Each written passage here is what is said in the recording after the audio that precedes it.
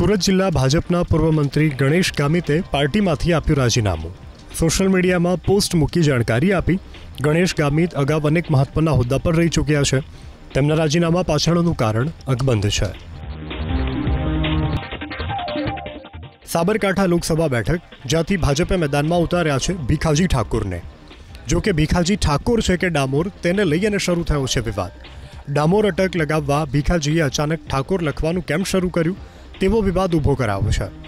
સવાલ એ ઉઠી રહ્યા છે કે ભીખાજી ઓબીસી છે કે પછી આદિવાસી?